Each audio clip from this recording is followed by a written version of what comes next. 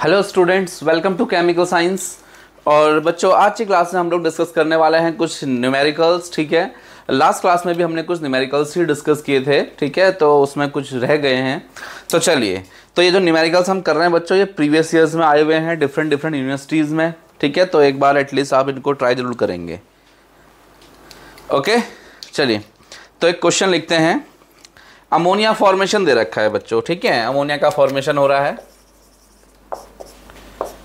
N two plus three H two gives twice of N H three ठीक है? ये reaction होती है, पता है आपको। अब इसमें हमें दे रखा है नाइट्रोजन के घटने की दर दे रखी है बच्चों, ठीक है? क्या दे रखा है? नाइट्रोजन के घटने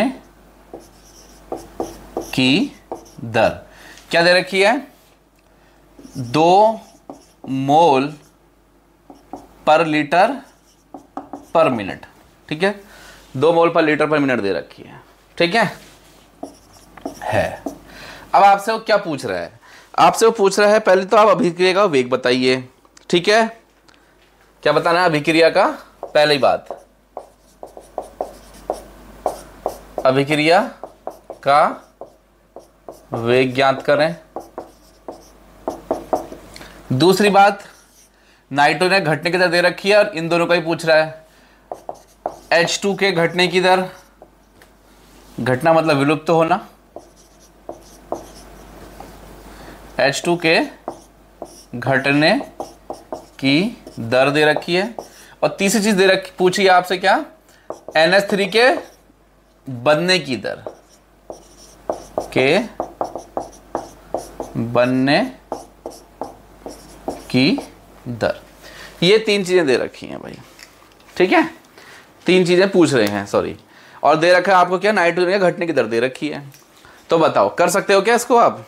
हाँ कर लोगे कोई इतना कुछ ऐसा है नहीं। तो सबसे पहली बात उससे आपसे पूछा है कि भाई ऐसा करो, अभिक्रिया का वेग ज्ञात करो। तो आप अभिक्रिया का वेग निकालो। कैसे निकालोगे बताओ? पता है, यह है, अभिक्रिया की दर। अभिक्रिया की दर। कैसे निकलेगी? Minus delta concentration of N two upon delta T ठीक है?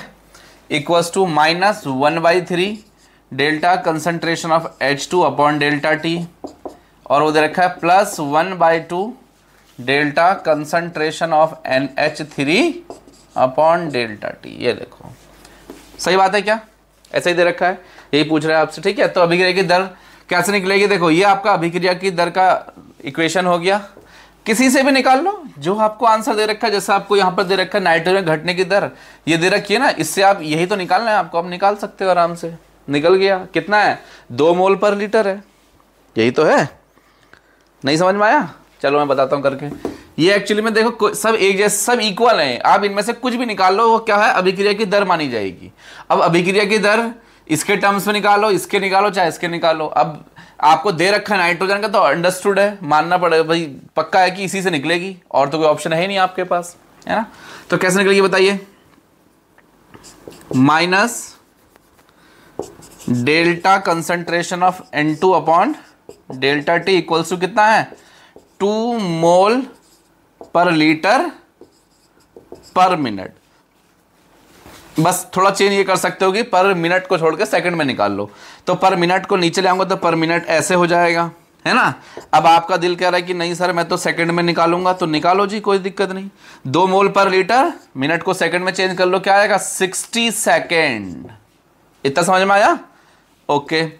अब क्या होगा? इसको कैंसिल आउट कर तो क्या होगा? One upon thirty mole litre inverse second inverse. देख लो जी। बोलो। ऐसा ही कुछ आएगा? पक्का? ठीक है जी, एक चीज़ तो तुम्हारा निकल के आ गया। ठीक है? अब वो आपसे इसके अलावा क्या पूछ रहा है? वो पूछ रहा है क्या? एच टू के घटने की दर। कोई बात नहीं, एक का आंसर निकल गया तो बाकी तो निकल ही जाते हैं। पता ही है आपको। हटा दो इसको।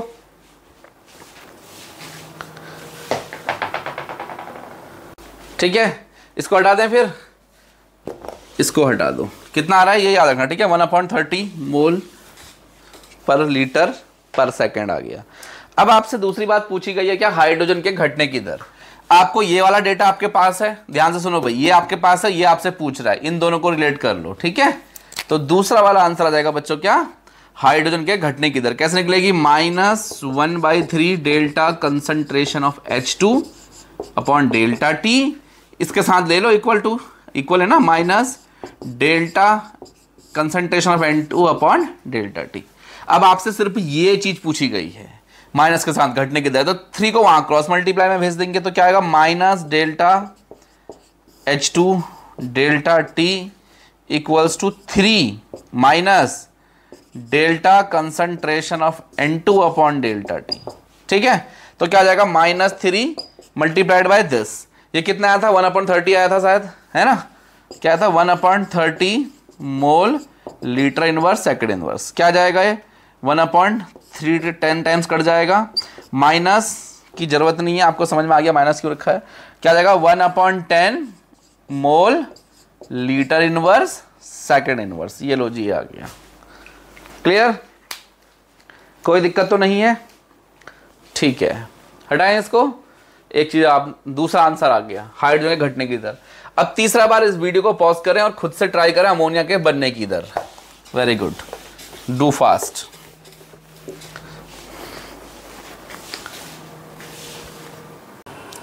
ठीक है?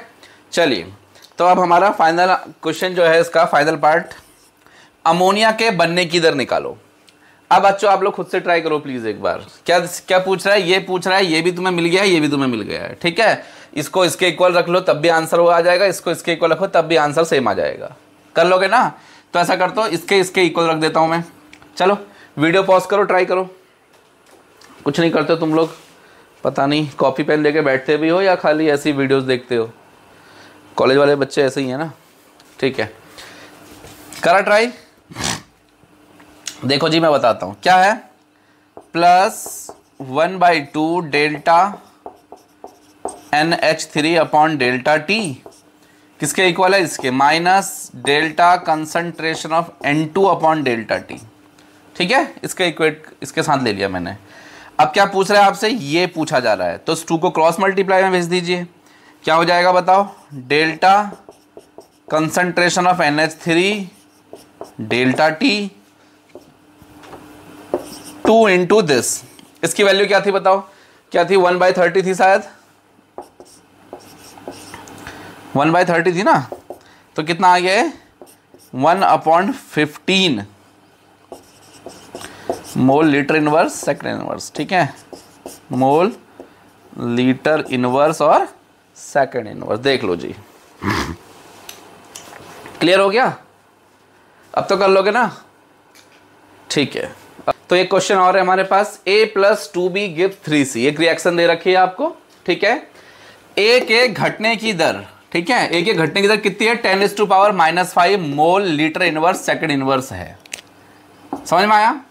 ये एक ही घटने की दर दे रखी है। वो कह रहा है बी के घटने की दर और सी के बनने की दर ज्ञात करो। सिंपल है यार।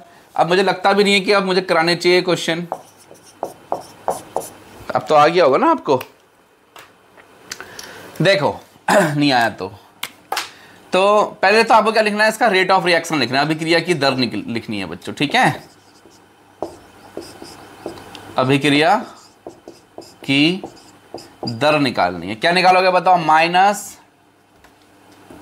delta concentration of A upon delta T equals to minus one by two delta concentration of B upon delta T plus one upon three delta concentration of C upon delta T, ये देखिए। तो ये आपने क्या लिखा अभिक्रिया की दर, इसको बोलते हैं रेट ऑफ़ रिएक्शन ठीक है, ये निकाल दिया आपने। अब आपसे कह रहा है ए के घटने की दर मतलब ये वाला वैल्यू आपको दे रखा है है ना? और बी के घटने की दर कह रहा है, पहले इसको इसके साथ ले लो, फिर इसको जाए इसके साथ ले लेना। आ जाएगा जी आंसर चलो, पहले हम इसको करते हैं, ठीक है? Minus A upon delta T minus one by two delta B upon delta T तो कह रहा है बी के घटने की दर मतलब आपको ये पूछा जा रहा है। इसको क्रॉस मल्टीप्लाई में दे दीजिए। ठीक है? माइनस का तो बता दिया तुम्हें, घटने की और बढ़ने से है। ठीक है? तो इसको शिफ्ट कर दिया। तो क्या आ जाएगा बताओ? Delta concentration of B upon delta T equals to क्या जाएगा? Two times delta A upon delta T आ जाएगा। टू इंटू इसकी वैल्यू रख दो। कितनी है? फाइव था, कितना था? पॉइंट हाँ है।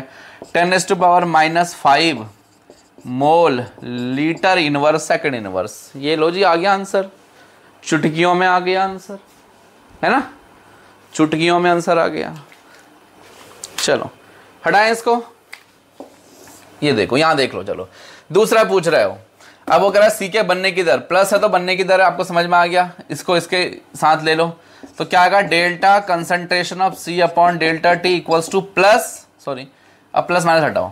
थ्री को क्रॉस मल्टीप्लाई भेज दीजिए। Three into delta concentration of A upon delta T three into delta concentration of A upon delta T A क्या है? ए की कॉन्सेंट्रेशन क्या है यहाँ पर? वही पता ही है तुम्हें। Ten is to power minus five mole litre inverse second inverse ये आंसर आ गया। क्या टेंशन है भाई इसमें? कोई टेंशन नहीं है। ओके ठीक है? चलो, एक लास्ट क्वेश्चन दे रहा हूँ। अब मैं इस क्वेश्चन को नहीं कराऊँगा, अब हम क्या करेंगे? आगे नए टॉपिक में चलते हैं, ठीक है? तो इस क्वेश्चन को आप खुद से ट्राई करें। लास्ट है। देखो बच्चों तो ये रहा आपके सामने क्वेश्चन क्या है क्वेश्चन बताओ? दिख तो रहा है ना थोड़ा सा? ठीक है। लिखा है रिएक्शन दे रखी है two N two O five अच्छा यहाँ पर थोड़ा शाइन आ गया। ठीक है बच्चों, ये two N two O five दे रखा है, यहाँ लिख दिया दोबारा से। Two N two O five gives four N O two plus O two ये देखो जी, ये दे रखा है। ठीक है? Two N two O five gives four N O two plus O two क्या कह रहा है? एन ओ टू के बनने की दर। यह दे रखा है आपको। ये और ये पूछ रहा है। तो कुछ नहीं करना, सबसे पहले आपको रेट ऑफ़ रिएक्शन अभिक्रिया की दर निकालनी है। Minus one by two delta concentration of N two O five upon delta T equals to plus one upon four delta concentration of NO two upon delta T equals to plus delta concentration of O two upon delta T. ठीक है जी? ये रहा। आप बताएँ क्या होगा। हम्म? क्या दे रखा है आपको? ओ टू के बनने की दर। तथा N2O5 के कब होने की दर निकालनी है और जबकि NO2 ये दे रखा है बच्चों आपको। ये वाला डेटा आपके पास है। एक बार ये पूछ रहा है, एक बार वो पूछा तो एक बार इसको इसके साथ ले लो, एक बार उसके साथ ले लो। ठीक है, पहला मैं कर देता हूँ किसके साथ? इधर। तो क्या निकालना है? O2 के बनने की दर और N2O5 ये लो, इसको करते हैं। क्या आएगा? Delta N two O five upon delta T equals to cross multiply में जाएगा तो two upon four delta concentration of NO two upon delta T. ये क्या आएगा? One by two delta concentration of NO two. इसकी value रख दो ना। कितनी है? टू है। Mole litre inverse second inverse. तो कितना आ गया है? वन मोल लीटर इनवर्स और सेकंड इनवर्स आ गया। समझ में आया? उधर आ जाओ। इधर आ जाओ जी। अब यहाँ पर क्या है लफड़ा भाई? यहाँ पर ये पूछ रहा है O two upon delta T क्या है? One by four into this इसकी वैल्यू कितनी है? Two into ten sorry two mole litre inverse second inverse one by two आ गया। Zero point five mole litre inverse second inverse ठीक है? यही आ जाएगा ना? One by two one by two को क्या लिख सकते हो आप? पॉइंट फाइव बोलो, कोई दिक्कत? कोई दिक्कत नहीं वेरी सिंपल है, ठीक है? गर्म बहुत हो रहा है। चलिए तो इतना समझ में आया, कहीं पर समझ ना आए तो बच्चों आप टाइम मेंशन करें वहाँ पर कमेंट्स में, ठीक है? तो मैं आपको उसका रिप्लाई दूँगा ओके चलिए, अब मिलते हैं कुछ नए टॉपिक्स के साथ। न्यूमेरिकल ख़त्म, अब बहुत कर लिया, ठीक है?